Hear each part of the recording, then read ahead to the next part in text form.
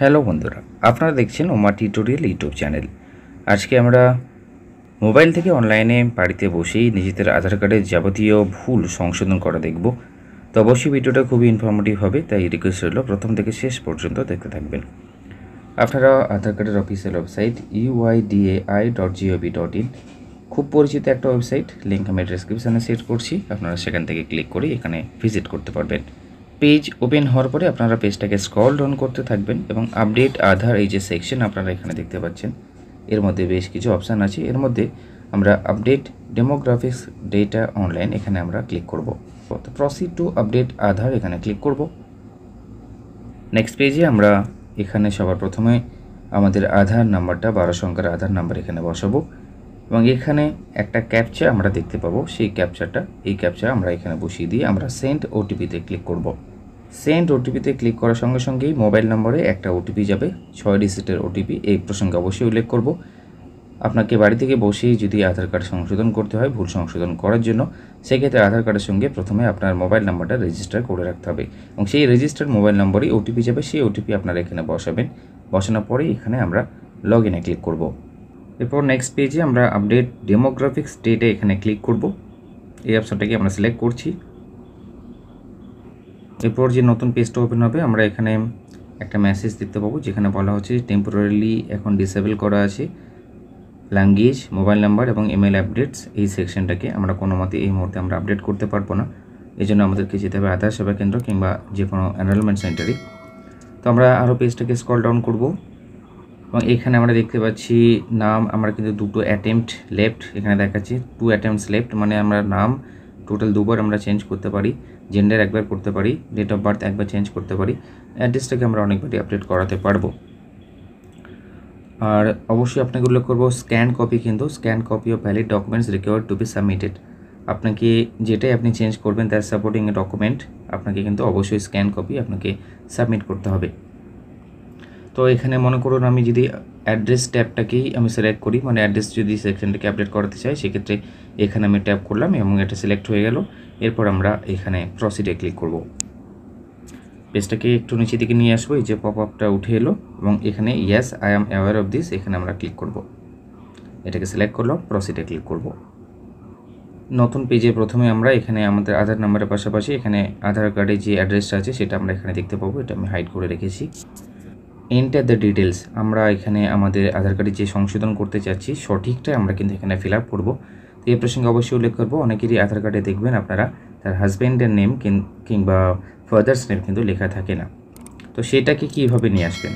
আজকে আপনাকে যেভাবে দেখাবো, ঠিক সেভাবে যদি আপনারা ফর্মটাকে সাবমিট করেন সেক্ষেত্রে কিন্তু আপনার আধার কার্ডে অবশ্যই আপনার হাজব্যান্ড নেম কিংবা আপনার ফাদার্স নেম যেটাই আপনি লিখবেন, সেটাই আপনার আধার কার্ডে শো হবে। তো কেয়ার অফ এই যে সেকশন আছে, এই ঘরেই কিন্তু আপনার হাজব্যান্ডের নেম কিংবা আপনার ফাদার্সের নেম সেটা এখানে লিখতে হবে। একেবারে আপনার ডকুমেন্টে যেটা আছে, সেই অনুযায়ী। তো এন্টার কেয়ার অফ এই ঘরে আপনারা ক্যাপিটাল লেটারে চাইলে আপনারা সেই নামটা লিখে দিতে পারেন। যেহেতু এখানে স্টার মার্কস নেই, এটা আপনি স্কিপ করতেও পারেন। কিন্তু অবশ্যই আধার কার্ডে যদি সেই নামটা আপনার প্রয়োজন থাকে, নিয়ে আসে অবশ্যই এখানে আপনারা এটা ফিল আপ করবেন। একইভাবে নিচের দিকে নিয়ে যাব আমরা। হাউস বিল্ডিং বা অ্যাপার্টমেন্টের নেম আপনারা চাইলে এখানে বসাতে পারেন। এটাও কিন্তু স্টার মার্কস নেই মানে এটা আবশ্যিক নয়। স্ট্রিট, রোড বা লেনের নাম আপনারা চাইলে এখানে লিখতে পারেন। অপশনাল আছে, এরিয়া লোক্যালিটি বা সেক্টরের নাম আপনারা চাইলে এখানে লিখতে পারেন। এবং ল্যান্ডমার্ক যদি আপনি কিছু দিতে চান, সেক্ষেত্রে আপনি এখানে লিখতে পারেন। এরপরে আমরা এখানে যে ম্যান্ডেটারি সেকশন আছে পিনকোড দেখুন পিনকোড ওপরে স্টার মার্কস লেখা আছে। অবশ্যই আপনাকে এখানে একটা পিনকোড বসাতে হবে। আপনার সঠিক পিনকোড আপনি এখানে বসাবেন। পিনকোড বসানোর পরে সবার প্রথমে আমরা আমাদের ভিলেজ টাউন বা সিটি আমরা সিলেক্ট করব। তো এখানে আমি ট্যাপ করলাম। ট্যাপ করতেই আপনি যে পিনকোড বসিয়েছেন, সেই পিনকোড অনুযায়ী আপনার ভিলেজ, আপনার সামনে চলে আসবে, ভিলেজ টাউন সিটির নাম। আপনারা সেটাকে চুজ করবেন।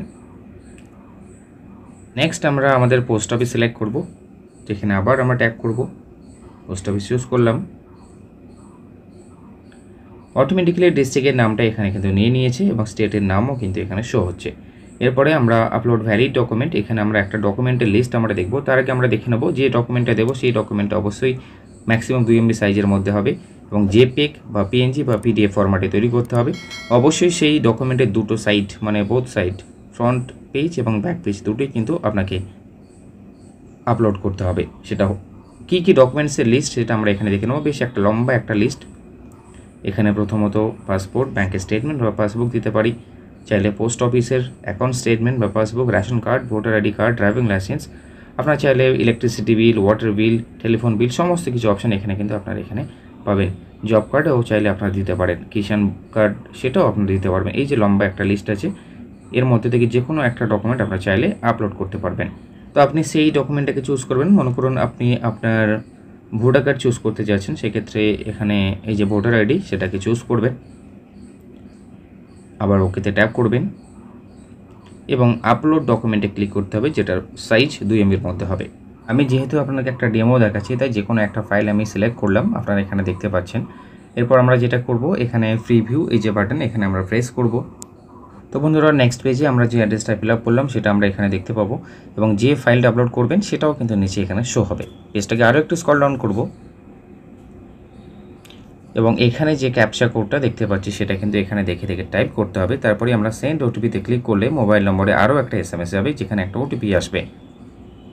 সেই ওটিপিটাই কিন্তু ছয় সংখ্যার যেটা আমরা এখানে বসাবো। বসিয়ে আমরা এখানে I hereby confirm that এখানে আমরা ট্যাপ করব। এটা চুজ করে নেব এবং এরপর আমাকে মেক পেমেন্ট ফাইনালে ক্লিক করতে হচ্ছে।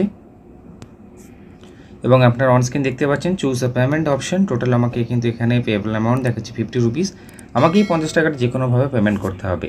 তো পেমেন্ট করে দিলেই কিন্তু আমার এই যে আধার কার্ডের অ্যাড্রেস যেটা আমি কারেকশন করতে চাইছি, সেটা কিছুদিনের মধ্যে কারেকশন হয়ে আসবে। নতুন আধার কার্ড আমার বাড়িতে চলে আসবে। তো ফ্রেন্ডস এই ছিল আজকের টিউটোরিয়াল আশা করব ভিডিও দেখে আপনি উপকৃত হবেন। ভিডিও ভালো লাগলে অবশ্যই অতি অবশ্যই লাইক করবেন শেয়ার করতে থাকবেন। চ্যানেল নতুন দর্শকে থাকলে এই ধরনের টিউটোরিয়াল পেতে অবশ্যই চ্যানেলটিকে সাবস্ক্রাইব করে বেল আইকনে প্রেস করবেন।